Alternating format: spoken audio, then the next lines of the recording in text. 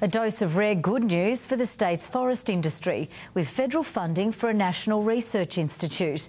Based at the University of Tasmania, the permanent project will underpin sustainable forestry initiatives is to congratulate the University With the Cooperative Research Centre for Forestry ending this year, a gap loomed in the field. The establishment of the National Institute for Future Forest Industries, the ideal replacement.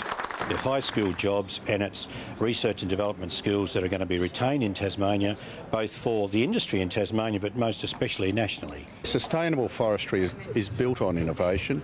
That's worldwide trend and it's been fact the case in Australia for many, many years. And we need to continue that if we're going to have a sustainable industry. The Institute kick-started by a $5 million federal government grant